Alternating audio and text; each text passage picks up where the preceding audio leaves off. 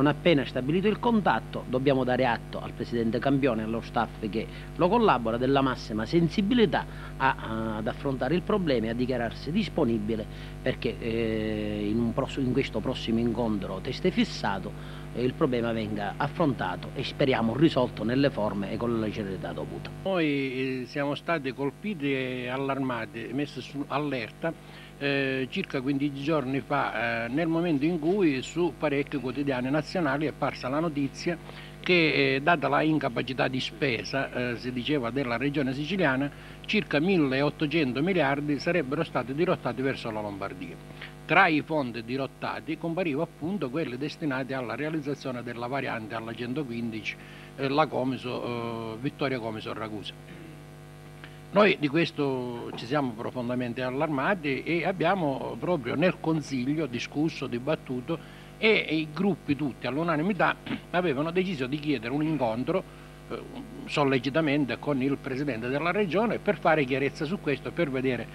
quali eh, potevano essere le ragioni o le motivazioni. A noi è dispiaciuto perché gli altri gruppi non, siano, e non abbiano partecipato a questa, a questa di a questa iniziativa. Anche, eh, li avevamo anche invitati a discutere eh, assieme altre o alternative forme di di, di protesta di sollecitazione, eh, però noi ritenevamo che l'esigenza di un'azione forte in questo momento potesse servire. Eh,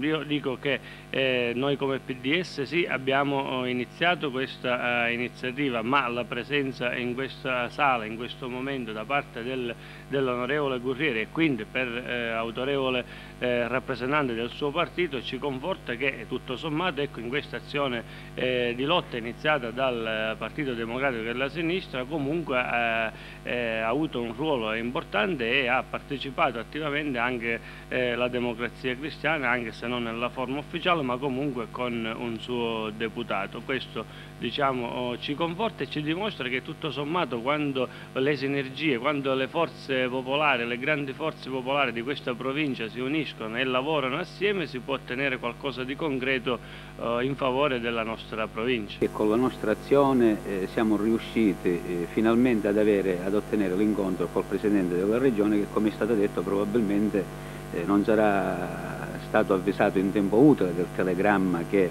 il Consiglio comunale, sua, il Consiglio provinciale nella sua unanimità aveva inoltrato. Io ritengo che bisogna anche sottolineare un altro fatto,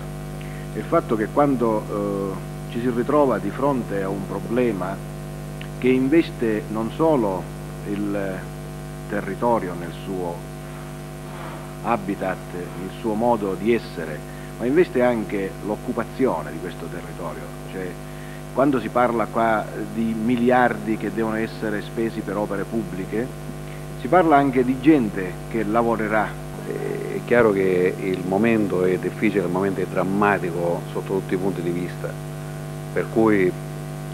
ogni piccola risorsa finanziaria che eh, si vede all'orizzonte fa difesa denti stretti. Ebbene hanno detto gli amici che i colori politici debbono scomparire necessariamente non ha senso la, la, la divisione del, del, del, partito contro partito quando ci sono gli interessi della collettività da difendere. E quella di stasera eh, sia una continuazione eh, di una battaglia che la provincia regionale di Ragusa ha intrapreso e voglio sottolineare l'importanza di, di questa, battaglia per la nostra provincia e per i collegamenti con il resto della provincia e in particolare per le zone di Ragusa, Comiso, Vittoria. Io eh, penso che tutti hanno chiaro qual è oggi questo percorso, in quale condizione versa. E eh, ritengo che di dimostrare con questa attività eh, quella possibilità che collegandosi con eh, i problemi reali di una di, della, della provincia delle popolazioni amministrate, allora in questo stesso momento si allontanano tangentopoli, si allontanano mo momenti, spettri come può essere la disoccupazione e si avvicinano invece il modo di come realmente dimostrare che i politici non sono tutti dei truffaldini e che i politici possono fare il suo compito dando quel, facendo quello che realmente dovranno fare. Quindi al di là della vicenda personale, voglio dire, quando si assume un impegno di rappresentare interessi della collettività non ci si può tirare indietro momento in cui emerge che è necessaria una iniziativa che vada oltre l'ordinario. Per cui quando il PDS stamattina ha proposto di arrivare a questa, questa forma di lotta per sbloccare la situazione, è chiaro che ciascuno di noi ha ritenuto che fosse una cosa da portare avanti e quindi anche sulla,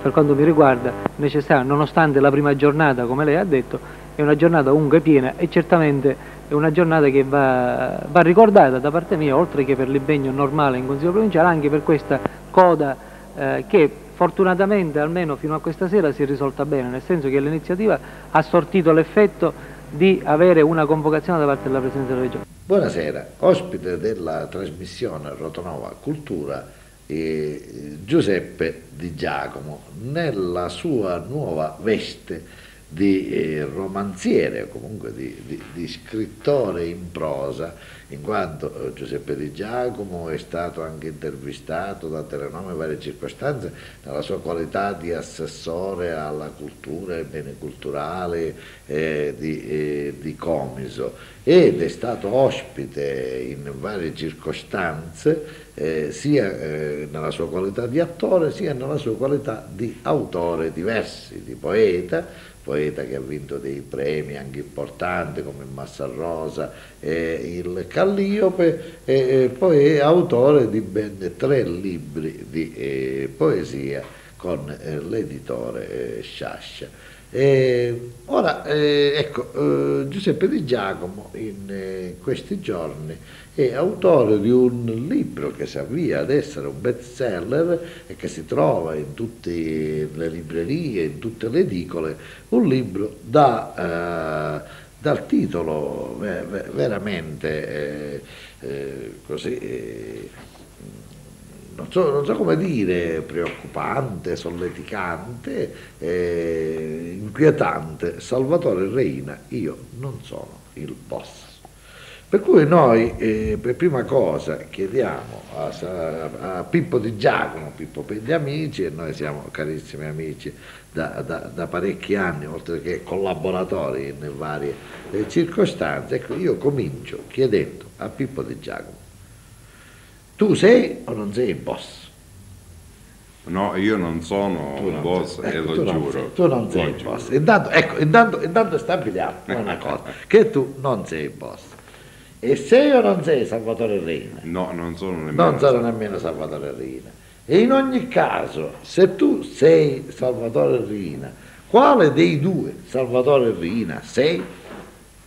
Ecco, eh, al problema... Ha, Poi spiegheremo, ecco, facciamo tipo giallo. Facciamo. Appunto, ha parzialmente risposto il nostro comune amico Antonio Di Grado, professore di lettere sì. all'Università di Catania, il quale, eh, avendo ricevuto il libro, ha pensato di farmi un gradito omaggio mandandomene eh, uno suo e nella dedica si complimentava con me e con Totò R. Punto per la comune fatica, eh, non essendo probabilmente simpaticamente riuscito a decifrare mh, qual è la realtà che sta sotto il romanzo. Eh, evidentemente eh, è una domanda che mi viene posta frequentissimamente in questi giorni, cioè la vera identità del personaggio che viene descritto in questo romanzo, o meglio, per tradurlo ancora in termini più, più semplici, se questo personaggio esista veramente oppure no.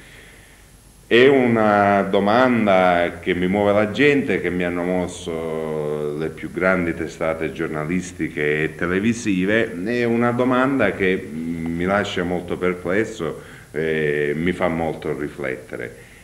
Intanto per un motivo, cioè evidentemente la cosa è resa in termini realistici per cui eh, si è portati a pensare che il personaggio omonimo di, del boss Totorrina eh, protagonista eroe delle mie vicende possa essere un personaggio reale. Ora io evidentemente so la verità, ma non voglio rivelarla proprio perché rivelare l'identità di questo personaggio è un po' come eh, diciamo così, sminuire la, la capacità di elaborazione del lettore stesso che a mio parere deve rimanere libero di interpretare la cosa così come vuole.